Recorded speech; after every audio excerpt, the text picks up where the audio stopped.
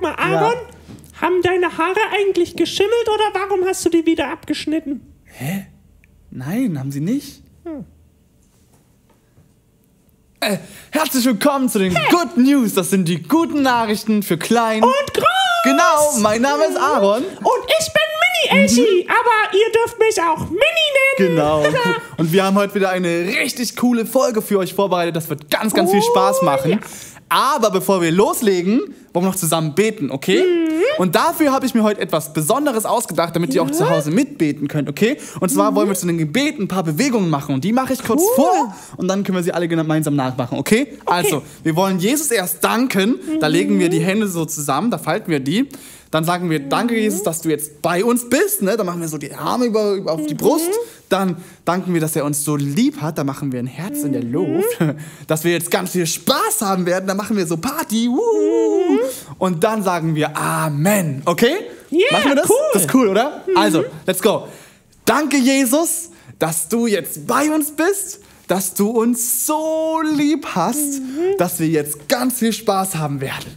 Amen. Amen. Das war cool.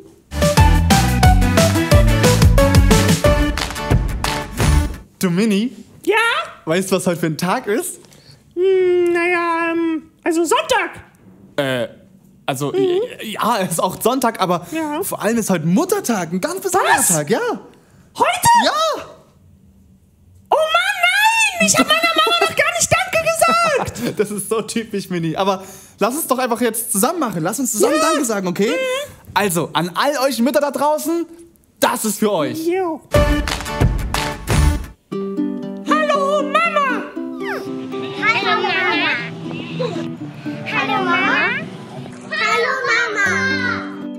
Ich wollte dir Nur mal sagen.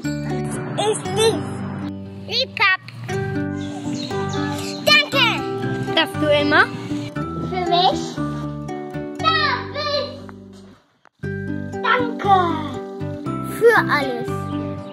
Was du für mich tust.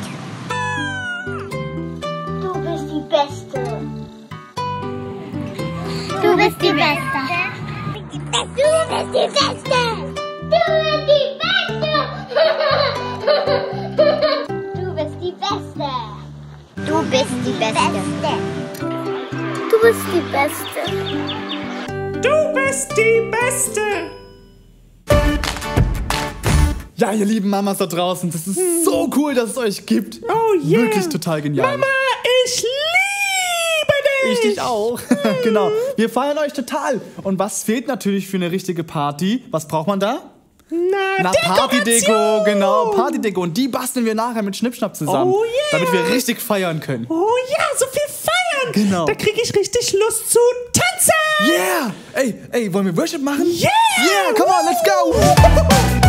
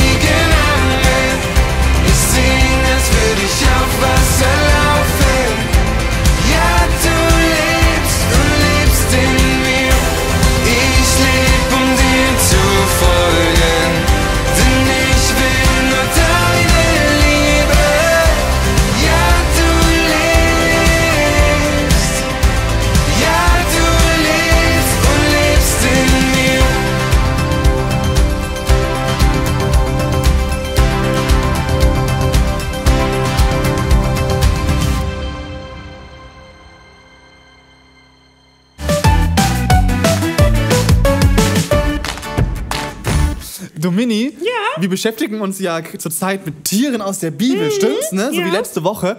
Und da habe ich mir gedacht, ich bring dir mal ein Spiel mit. Yeah. Denn eine Sache finde ich total abgefahren an Tieren. Jedes Tier macht verschiedene Geräusche. Ja, Ne? Ist dir schon mal aufgefallen? Mhm. Und deswegen ist das Spiel jetzt, dass ich dir ein paar Tiere mitgebracht habe, okay? Oh ja. Und du, du hörst ein Geräusch von dem Tier und musst erraten, welches Tier es denn ist. Oh, cool. Ja, kannst du yeah. dir das zu? Ah, cool. und ihr Fall. Mhm. zu Hause könnt natürlich mitspielen und mitraten. Ihr seid mindestens genauso schnell wie Mini auch, okay? Ja. Also, hier ist Tier Nummer 1. Oh ja, das kenn das kennst du schon, oder? Ah ja, das habe ich schon mal gehört Ja? bei meinem Onkel Echo. Ah, hat er der eine- hat so ein Tier. Aha. Und zwar ist das eine Katze. Richtig, eine Katze. Sehr gut, sehr gut. Okay, Ja. das war vielleicht auch ein bisschen leicht. Ähm, deswegen hier Tier Nummer 2. Oh ja, warte mal, das kenne ich doch auch. Ja. Mm, davon gibt's ganz viele da hinten bei meiner Tante. Aha. Elcha. Ähm, die leben ganz viel auf so einem, auf so einem Gehege. Das ist- sind, glaube ich, Pferde, Ja, oder? das sind Pferde, genau. Die sind Yeah. voll cool. Die machen ein richtig cooles Geräusch und man kann auf den reiten und so und sehen auch einfach übel schön aus, ne?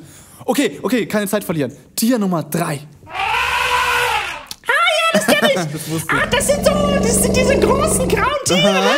ja. Mit so einem komischen langen Rüssel. Ja, genau. Ja, das sind hier Dings, hier, Ding, Dingsbums, Na. Dings, äh, Elefanten. Genau, ja, ein Elefant. Genau. Den hatten wir Elefanten. letzte Woche erst in der Geschichte, stimmt's? Stimmt, ja, genau. Voll cool. Okay, und Tier Nummer 4 kommt hier. Hier. Äh, Weißt du- Ahorn? Ja. Also das ist ja wohl ganz leicht. Wirklich? Das höre ich jeden Tag, das Geräusch. Wirklich? Das ist ein. Sehr richtig. Das war ja leicht. Das war wirklich zu leicht, das weiß ich. Ihr zu Hause wusstet bestimmt auch genau jedes Geräusch. hey, Aaron. Ja? Gibt's wieder jetzt so eine coole Tiergeschichte? Ja, natürlich. Oh yeah! Das war letzte Woche so cool. Oh, fand ich da auch. Mhm. habe ich gelernt, dass Gott die Welt gemacht hat und alle Pflanzen Ja. und auch mit allen Tieren. Ja. Und sogar mich er Sogar dich. Das war wirklich total spannend, ja. Worum geht's denn heute? Oh, heute ist eine richtig gute Geschichte dabei, okay? Heute geht es um einen Mann, der hat mit ganz vielen Tieren zu tun und der hat einen Auftrag bekommen von Gott, der total komisch und unlogisch scheint, aber trotzdem vertraut er Gott und macht, was er sagt. Und dann endet alles gut. Ich weiß, es klingt komisch, Wow. aber lass uns, lass uns einfach anschauen, okay? Spannend. Hallo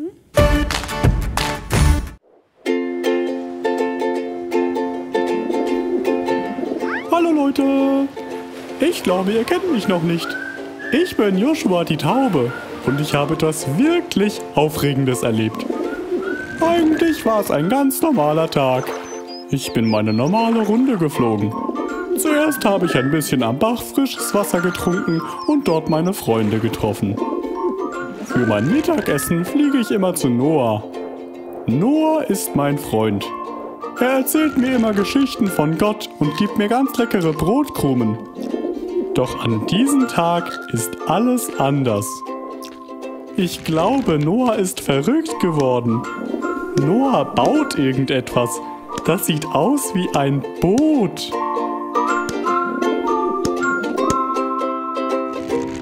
Ich schaue mir das mal etwas genauer an. Noah hat mir dann erklärt, dass Gott traurig ist, weil außer Noah und seiner Familie sich niemand für Gott interessiert und alle Menschen so gemein zueinander sind. Deswegen möchte Gott einen Neuanfang. Es wird ganz viel regnen. Alle, die auf Gott hören, werden in dem Boot Schutz finden. Noahs Boot heißt Arche. Und in der Arche ist auch Platz für jede Menge Tiere. Von jeder Art zwei.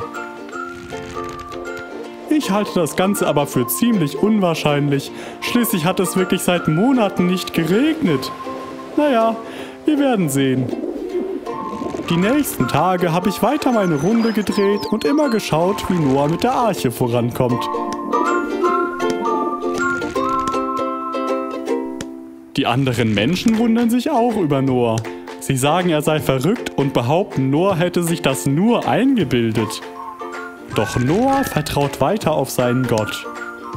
Es ist ihm egal, was die anderen sagen. Ich habe die Geschichte auch meinen Taubenfreunden erzählt, aber die haben alle nur den Kopf geschüttelt und sind weggeflogen. Nur Frieda ist da geblieben und hat mich mit großen Augen angeschaut. Inzwischen sind Wochen vergangen und nichts ist passiert. Ich glaube, Noah hat sich doch geirrt.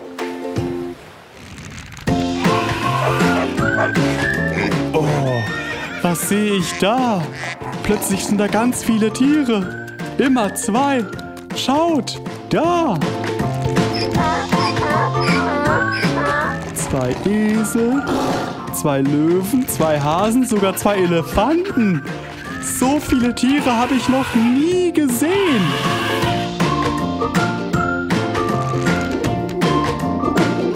Auf einmal fällt ein Regentropfen auf meinen Schnabel.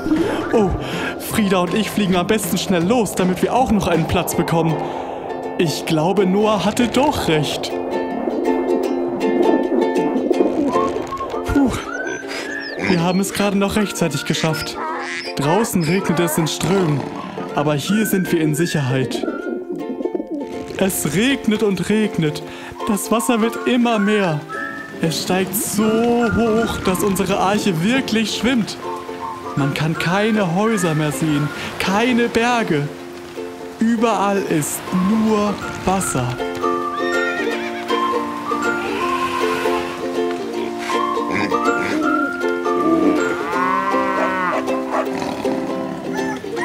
Wir sind viele Tage auf der Arche. Es regnet und stürmt. Drinnen ist es eng und stickig und langweilig. Ich weiß nicht, wie lange das so weitergehen soll. Noah schickt immer wieder Vögel los. Sie sollen nach Zeichen suchen, dass die Flut endet. Vielleicht guckt irgendwo schon etwas Land oder ein großer Baum aus dem Wasser hervor. Jeden Tag kommen die anderen Vögel erfolglos zurück.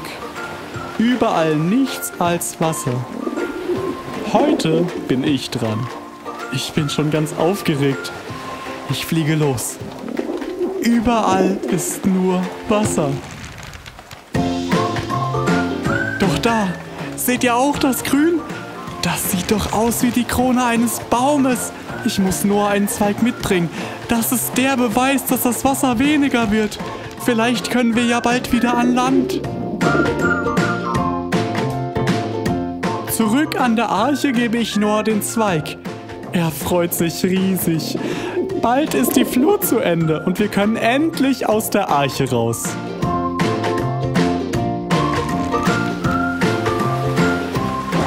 Plötzlich kracht es. Alles wackelt. Oh je, was ist passiert? Ich glaube, wir sind irgendwo gegengefahren. Das schaue ich mir mal genauer an. Tatsächlich. Die Arche steht auf einem großen Berg. Bald dürfen wir wieder nach draußen.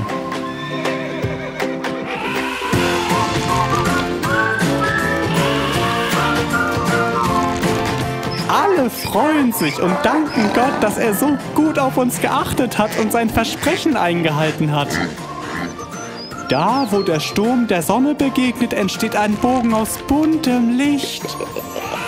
Plötzlich hören alle Gottes Stimme und Gott sagt, Ich verspreche euch, ich werde die Erde nie zerstören. Seht ihr den Regenbogen? Immer wenn ihr den am Himmel seht, erinnert euch, dass ich es gut mit euch meine. abgefahrene Geschichte, oder? Gott hat sein Wort gehalten und er hat uns ein richtig tolles Versprechen gegeben.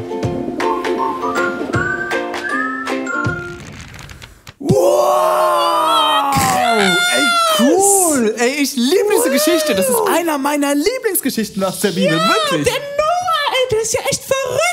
Gewesen. Ja, ein bisschen. Gott hat ihm gesagt, bau ein Boot. Und dann hat er das einfach so gemacht. Einfach so. Obwohl er doch wusste bestimmt, dass man für ein Boot doch Wasser braucht. Stimmt, wusstet ihr das? Ja, und alle anderen haben dem auch gesagt, dass der verrückt ist. Stimmt. Und trotzdem baut er so ein riesig großes Boot mitten auf dem Land. Das ist oh schon, Mann, schon crazy. Ja. Aber weißt du, Gott hat ihm ja gesagt, er soll das machen. Und weil Noah treu sein wollte zu Gott, hat er es einfach gemacht. Auch. Einfach wenn das so. noch so komisch wirkte. Wow, ey. Und Abgefahren. so ein bisschen ist die Situation auf dem Schiff bestimmt auch so wie, wie jetzt gerade eigentlich. Hm. Da waren noch alle drinnen und durften nicht raus. Und und es war bestimmt auch ganz schön langweilig irgendwann. Und, und die wussten ja auch nicht, wie es weitergeht. So ein bisschen wie heute. Du, du hast voll recht, stimmt. So ein bisschen ist das voll wie heute. Krass. Ja, aber trotzdem hat Noah einfach vertraut und, und am Ende ist ja auch alles gut geworden. Und Noah und seine Familie wurden dann beschützt von Gott, so wie er es gesagt hat. Genau. Und weißt du, was richtig cool ist? Ja? Das Versprechen, was er am Ende gegeben hat, das gilt noch heute. Hä? Na, das Welches Versprechen? Na, das am Ende. Das habe ich irgendwie nicht mitbekommen. Hast du nicht ganz aufgepasst, ne? Also, vielleicht. nicht so schlimm. Ich erklär's dir nochmal, Ja, Mhm. okay? Okay, pass auf. Manchmal, da hast du Angst oder bist dir unsicher. Ja. Besonders jetzt in Zeiten von Corona haben manche Menschen Angst. Mhm. Vielleicht kennst du das Gefühl auch. Das fühlt sich dann vielleicht so an, als wären am Himmel, naja, so Wolken und alles ist dunkel. ja? Hm, stimmt, ja. Aber Gott hat uns versprochen, dass er da ist. Er ist das Licht. Er ist bei uns in der Dunkelheit. Er beschützt uns. Und als Zeichen, dass Gott immer bei uns ist, gibt es den Regenbogen. Der Regenbogen erinnert uns daran, dass Gott sein Versprechen immer hält. Ach so, Ja. ja, stimmt. So einen Regenbogen habe ich auch schon ganz oft gesehen. Ja. Da hat es erst geregnet und dann scheint wieder die Sonne. Genau. Und dann ist da so ein wunderschöner Ey, Regenbogen. und so ein Regenbogen ist ja nun wirklich richtig schön, oder? ja. und das heißt, wenn ich den heute noch sehe, dann, dann heißt das, dass das Versprechen heute noch gilt? ja, genau. Ach so. Ja, dann, dann will ich so wie Noah auch auf Gott vertrauen. Jetzt auch gerade in so Zeiten wie zu Corona und so. Hey Mini, das finde ich eine richtig gute Idee von dir. Ja. Und weißt du, was richtig cool ist? Überall in der ganzen Welt gibt es gerade Kinder, die malen oder kleben einen Regenbogen an ihre Fensterscheiben als Zeichen der Hoffnung. So wie in der Geschichte. Denn, denn sie sagen, hey, irgendwann kommen wieder bessere Zeiten und wir hoffen darauf. Das finde ich eine richtig coole Aktion. Wow, das ist echt voll cool. Das, Das, sollten wir nach der auch Show auch mal machen, ne? Ja, okay. Finde ich voll cool. So eine coole Geschichte. Hey Mini, Ja. das waren heute mal wirklich gute Nachrichten, oder? Oh ja, auf Ey, jeden diese Fall. Mhm. Geschichte, der Hammer, was Gott da getan hat und dieses Versprechen am Ende. Ja. Krass. Und das gilt bis heute. Bis heute, Bis ja. Mhm. heute, total abgefahren. Und weil das so cool ist, würde ich Gott jetzt total gern danken. Oh ja, okay? unbedingt. Mhm. Und dafür beten wir und ich bete was vor und ihr alle betet nach, okay? Ja, okay. Du und die Kinder zu Hause. Machen wir das so? Ja. Okay. Und wir schließen einfach unsere Augen, damit uns jetzt nichts ablenken kann, okay? Ja. Also, danke Jesus, Danke, Jesus, dass du dass du mein Beschützer bist. mein Beschützer bist. Und danke, Jesus, Und danke, Jesus, dass du dass du mich so liebst. mich so liebst. Bitte hilf mir, Bitte hilf mir, so zu leben, so zu leben, wie es dir wie es dir gefällt. gefällt. Amen. Amen. Yeah. so cool. Klatscht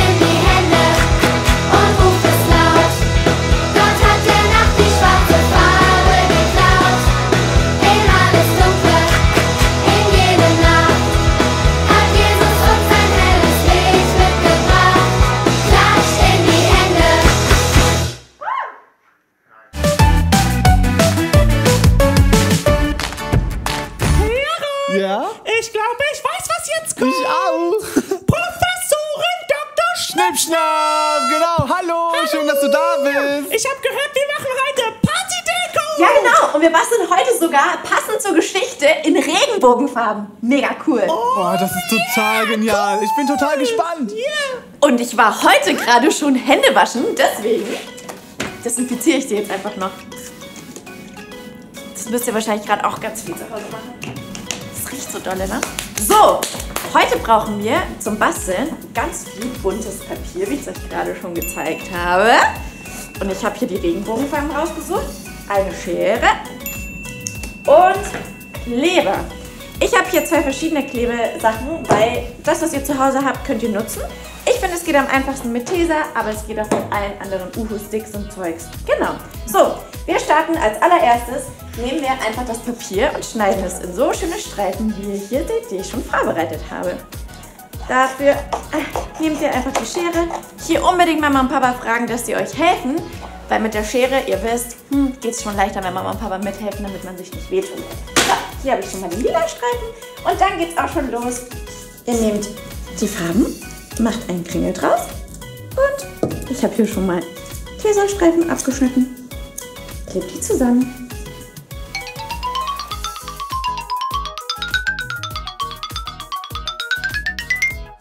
Und wie ihr seht, haben wir schon einen richtig schönen Regenbogengirlande. Und da wir ja gerade auch Muttertag haben heute, habe ich auch schon eine vorbereitet, die ich später bei meiner Mami aufhängen werde, damit so richtig schön Partylike aussieht. Ich zeig's euch mal kurz.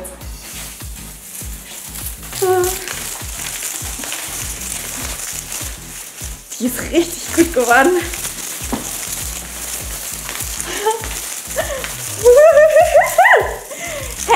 Wünsche euch richtig viel Spaß beim Basteln zu Hause und zeigt uns auf jeden Fall, wie es bei euch zu Hause aussieht, wenn ihr die aufhängt. Boah, cool, Frau Schnippschnapp. Richtig coole Idee guck schon mal, wieder. Und ich habe schon ein bisschen Ich angefangen. sehe das schon, das sieht Ja. schon ganz schön lange aus, ja, ich bin aber gesagt. nur am Anfang. Das wird noch Was? viel länger. Hm. Ich bin gespannt. Da musst du mir dann echt ein Bild schicken. Echt. Oh ja. cool. Apropos Bild. Ja? Haben die Kinder eigentlich wieder Bilder geschickt? Äh, ach ja, klar, das Geschenk. Warte. Ach ja, das Gewinnspiel. Hä? Wo bist du denn? Hallo? Hier. Ah, das habe ich beinahe vergessen. Der Lostopf. Genau, natürlich haben wieder ganz viele Kinder ihre Bilder eingeschickt und jetzt werden wir mal ermitteln, ne, wer gewonnen hat. Jetzt hier, mischen, mischen wir mal durch, okay? Okay. Das? Okay. Das, das, ja. Okay. Oh, es ist diesmal eine Familie, es sind Geschwister, okay? Gewonnen hat, Trommelwirbel, sehr gut, gewonnen hat Mercedes, Gloria und Melody aus Dresden. Herzlichen Glückwunsch an euch. Wir werden euch natürlich ein Geschenk schicken und dafür werden wir nochmal mit euren Eltern reden, damit die uns auch sagen, wo ihr denn wohnt. Wenn du heute mal nichts gewonnen hast, ist das gar nicht, so, gar nicht so schlimm. Schick uns einfach noch ein Bild und zwar an die Adresse, die hier unten eingeblendet ist. Yeah. Wir freuen uns total auf alles, was ihr uns schickt, Unbedingt. oder? Ich liebe Und das alle wirklich. anderen Bilder werden am Ende eingeblendet. Genau, richtig? also bleibt auf jeden Fall dran. Oh ja. Das wird richtig cool. Danke, dass ihr so viel schickt. Yeah.